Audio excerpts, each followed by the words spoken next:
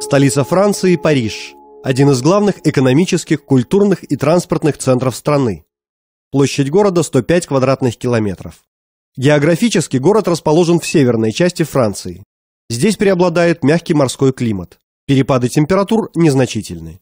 Зимой столбик термометра обычно держится около 7-8 градусов по Цельсию выше нуля, изредка опускается до минус 3 градусов.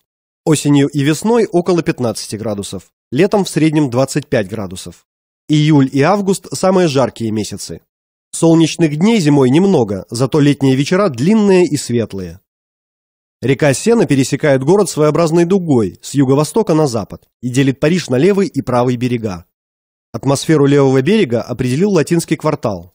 Левый берег традиционно считается богемным. Здесь жили студенты и профессора, поэты, артисты и музыканты.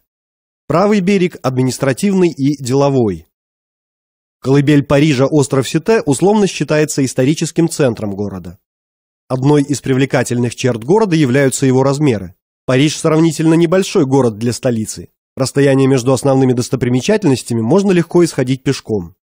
Административно Париж поделен на 20 округов, которые уходят по спирали от центра к окраинам. Каждый округ живет своей жизнью. С 1 по 6 округа – исторический центр. Здесь находится большинство музеев, памятников и старинных зданий. Округа 15, 16 и 17 – самые благоустроенные и престижные. В густо заселенных восточных районах сосредоточены мастерские и небольшие магазины. Здесь селятся рабочие и иммигранты.